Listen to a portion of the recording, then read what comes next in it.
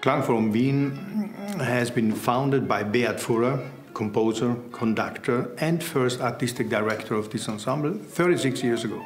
Klangforum is a collective uh, where all soloists coming to together, and there we are calling ourselves an ensemble of soloists. We designed Prague Offspring so we can create links between Czech contemporary music scene and international one in general, and links between Prague Spring and Klangforum Wien in particular. What can we expect from you? Coming to Prague for us, it's very important because we come with a spirit of wanting to discover something. I find it particularly important that it's not only a link between different music scenes of contemporary music, but also the fact that uh, Prague Offspring is implemented in the Prague Festival the so-called established festival, we have the possibility to reach a new audience. Part of our program is also called reading lessons, which is basically a rehearsal with student composers who wrote new pieces for you. How do you approach that? Prague Offspring is offering us the opportunity to not only present concerts as something a closed package, no?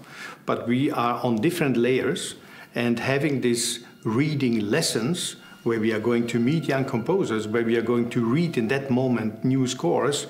Uh, first of all, it's a huge kind of freshness that we uh, can offer to the audience, but it's also a kind of a learning lesson for ourselves to discover new languages of the next generation. It's not only presenting something where uh, somebody is buying a ticket and then there's the applause at the end, but really we are open it as a kitchen and everybody can look into the kitchen how new music comes on his way.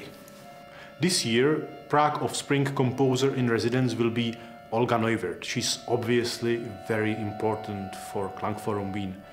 Olga Neuwirth, without any doubt, is a key composer over the last even 30 years.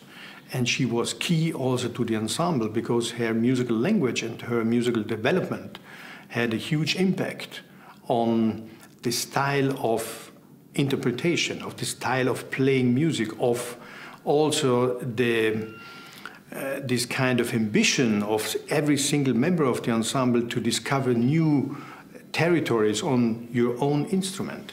Part of the program is also music by Clara Iannotta, Italian composer you work with regularly. She is already a strong voice in Italy, Middle Europe, and I think it's very important in a project like this, like yours, where we have the Olga Neuwirth as the real master composer and all these young generations to have also another, in this case, female voice in the whole picture. So she is really a next generation with a lot of power and with a lot of determination. There will be also a new piece by Martin Smolka Prague Spring has commissioned. Personally, I like his music and his also his very particular uh, position very much. Klangforum has a bit of different DNA, and I'm more than happy that our dramaturgy and our ensemble is now willing also to open the door a bit wider, and this gives us the opportunity really to leave a bit this radical position of only one understanding of a DNA and to open it a bit more. The ensemble is holding actually a position of a professor of a chair at the it's a Hochschule für Musik in Graz. At the University of Graz, KUK, it's the name, short name of it. We are holding this position as a professor, the entire ensemble, so 22 people holding one professor position. And it's so important for us because it's not only we producing and uh, being an interpreter of new music, but also mediating this to the next generation.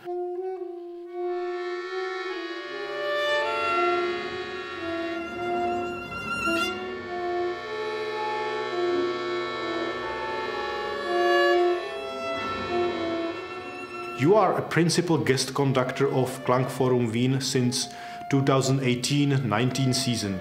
What would you say sets Klangforum apart from other ensembles? I think they have an incredible uh, sensitivity for sound. Uh, so it's it's very uh, in German you, you, say gepflegt. It's very well treated. I mean, it's very they're very uh, they're very aware of the beauty of the sound. So they're always looking for uh, this incredible sensitivity in in what they do. I think that is one of the things that they are really uh, specialized in. As a conductor, you work both with regular symphony orchestras and specialized ensembles for contemporary music, such as Klangforum Wien. What would you say is the biggest difference? I mean, an orchestra is a complete different animal. There is much more hierarchy inside, you know, how, how they function. So with Klangforum or with, with another smaller ensemble, uh, you can always work, you know, as a musician under musicians, and you can ask them, maybe we can try this, or maybe we can try this. You get also a lot of initiative from the ensembles, you know, the way they would like to play it. And in an orchestra, uh, because you know, we, first of all, you have 12 first violinists to start with, so you cannot you cannot start like maybe we can do something. If you say maybe to an orchestra, they go like, yeah, you know, I mean, what maybe? You know, you want this or you want this.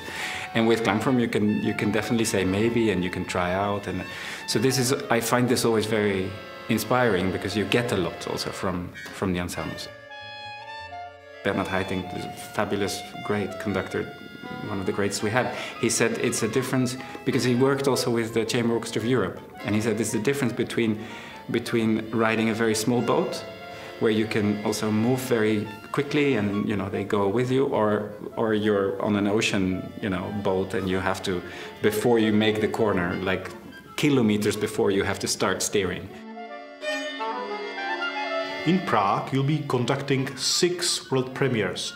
A big piece by martin smolka and five smaller ones i suppose that's something you do quite regularly playing new music if you look at the score i always think it's um, it's sort of treasure hunting. Yeah, you you have you have this map, and you know that somewhere is something hidden, and you have to find it. Yeah, it's, it's the same game as you do when you're a, when you're a child, and you have to figure out you know all these things. You know what does it mean? What does this mean? What kind of language is it?